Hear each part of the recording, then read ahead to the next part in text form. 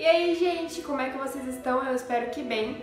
Hoje o tema aqui no canal é um caso que aterrorizou os Estados Unidos. Esse caso é a seita de Charles Manson e o caso Tate LaBianca. Eu não preciso nem pedir pra vocês curtirem o vídeo, se inscreverem no canal, né? Porque eu tenho certeza que vocês já fizeram isso no começo do vídeo. Mas, se não fez ainda, vim aqui lembrar, então curte, comenta, se inscreve, faz todas as coisas aí antes que você. Então, vamos pro vídeo.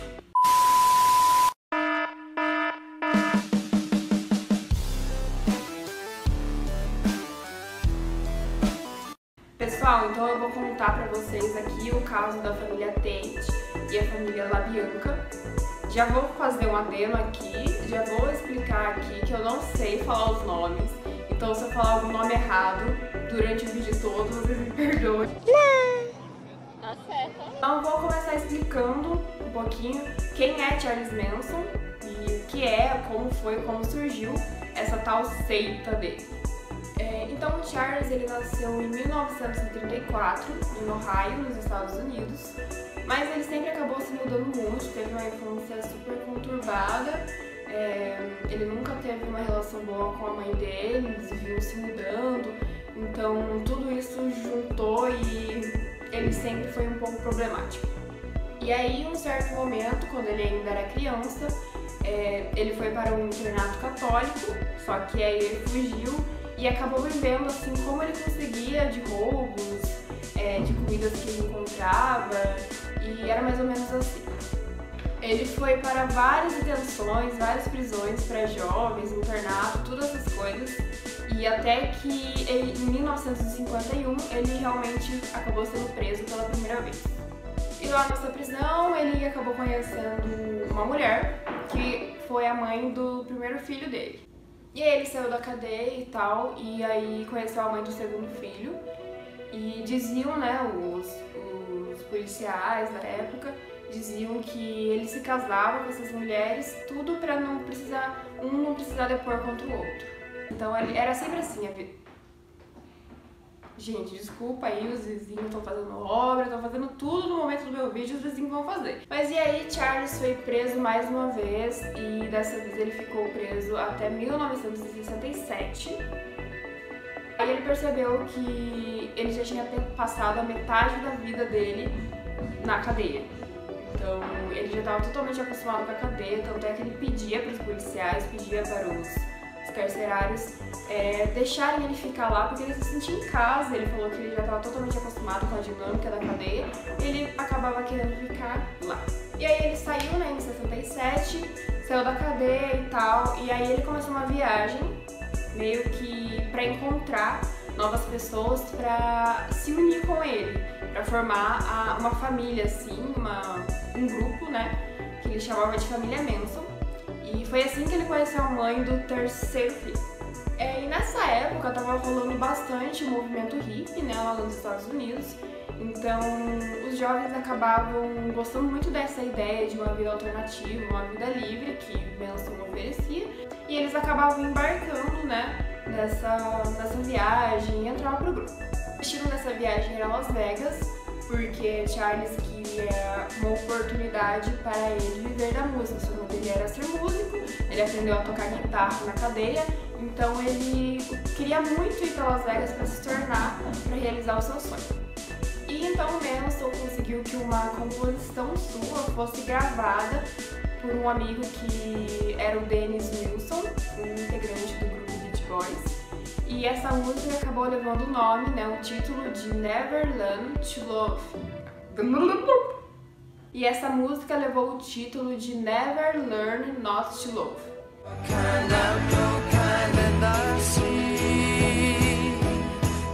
Em 1968, os Beatles lançaram o seu álbum, White, e aí Manson, escutando as músicas, decidiu, descobriu, colocou na sua cabeça que tinha uma mensagem escondida por trás da música Helter Skelter.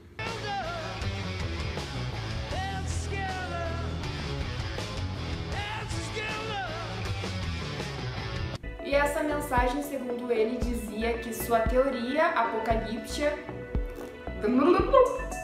E essa mensagem, segundo ele, seria um sinal de que sua teoria apocalíptica estava correta, de que haveria uma guerra racial no mundo e aí acabaria com tudo. Só que essa guerra nunca aconteceu. e em 1969, o Manson, né, ele, o Messias, o pessoal chamava ele assim também de Messias, é, convencendo o seu grupo de que, como não começou, eles teriam que começar essa guerra, porque nunca aconteceu, então ele falou, ah, então vamos lá, vamos começar essa guerra. Então essa guerra começaria, né, o seu plano era de começar a guerra assassinando pessoas brancas, ricas e muito influentes lá na Califórnia. E eles incriminariam um grupo de resistência negra, que era, o plano era incriminar os Panteras Negras, né, que era o movimento negro lá nos Estados Unidos na época. E aí no dia 9 de agosto de 1969, Manson e mais quatro recrutas foram executar esse plano. Tex Watson, Susan Atkins, Linda Casabian e Patricia Crane Winkle invadiram a casa da atriz Sharon Tate, que foi uma atriz muito, muito, muito famosa nos Estados Unidos, uma influência enorme da beleza feminina também. Eles invadiram a casa dela e executaram todos que estavam lá da pior forma possível.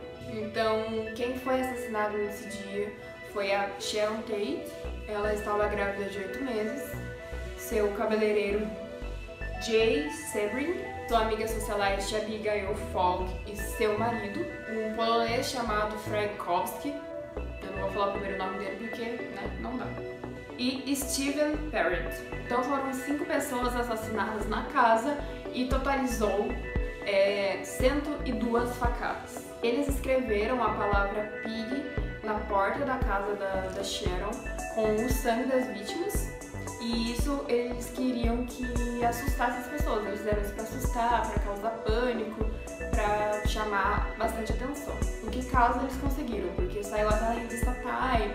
A curiosidade é que essa casa da Sharon, na verdade, há pouco tempo atrás, era do produtor musical Terry Melcher. Eu acho que é assim que se fala e que negou, foi ele que negou uh, o contrato de fazer música com o Manson e tal. E eles tinham acabado de se mudar, ele e sua esposa tinham mudado, se mudado recentemente dessa casa. Então, será que na verdade Charles é, queria, foi pra lá de propósito pensando que ia encontrar, encontrar o Cherry? Ou na verdade não? Será que ele se enganou de endereço? Não sei, né? Vou jogar essa dúvida aí pra vocês. E aí, no dia 10 de agosto, no dia seguinte, né? É, a família Manson, com seis integrantes dessa vez, Leslie Van Houten, Steven Grogan, Susan Atkins, a Linda, a Patrícia e o Manson. Eles decidiram que o primeiro assassinato não teve muito pânico, não chocou muito. E aí eles decidiram que ia fazer de novo. Então, de novo, né, eles começaram a rondar e andar pelo bairro procurando as suas vítimas até que eles chegaram na residência de Lennon LaBianca. Era um empresário bem sucedido e tal, ele era rico, e lá nessa casa estava ele e sua esposa Rosemary. E os dois foram assassinados com um total de 67 facadas. Então nas paredes da casa foram escritas as palavras Death to Pigs e Rise. É, na porta da geladeira escreveram Helter Skelter, tudo isso com sangue e também escreveram no estômago do Leno é, a palavra War. Então, depois de muito tempo disso que aconteceu, rolou uma investigação muito grande por tempos e tempos. Então, todos os participantes foram a julgamento depois de tudo. E Manson e mais quatro integrantes do grupo receberam a condenação de pena de morte, mas as leis da Califórnia acabaram mudando né, foi proibida a pena de morte. E eles acabaram levando a sentença de prisão perpétua. E a Linda Casabian, ela foi inocentada, é, ela fez um acordo, né, e ela foi, acabou sendo a testemunha de acusação. Então, né... Ouviram? Vocês ouviram? É, o Charles, durante o seu tempo na prisão, ele deu várias entrevistas para vários jornais e várias revistas e com muitas frases, muitas falas polêmicas, como uma delas foi é, se eu começasse a matar pessoas, não restaria nenhum de vocês. E aí ele acabou morrendo em 2017. Alguns dos outros integrantes do grupo da família Manson ainda estão vivos e continuam presos. E esse acontecimento, né, tudo isso, rendeu o filme do Quentin Tarantino com o nome de Era Uma Vez em Hollywood.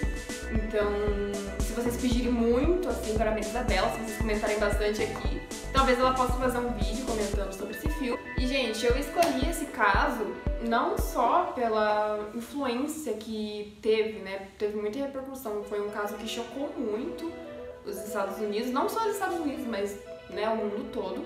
E eu escolhi ele porque a Sharon Tate, ela era uma pessoa famosa, ela era uma atriz, né? Então, ela foi assassinada de uma forma brutal. Eu acredito que não saí do, do meu tema aqui no canal. Então é isso, eu espero que vocês tenham gostado. Se vocês gostarem de mais casos assim, vocês comentem aqui. Se não, se não eu mudo de novo o foco. Mas é isso aí, gente. Compartilha com seus amigos se você gostou. Curte se você ainda não curtiu, pelo amor de Deus, se você ainda não curtiu, o que, que você tá fazendo? Curte esse vídeo, se inscreve nesse canal, por favor. Então é isso, gente. É, um beijo, tchauzinho e até a próxima.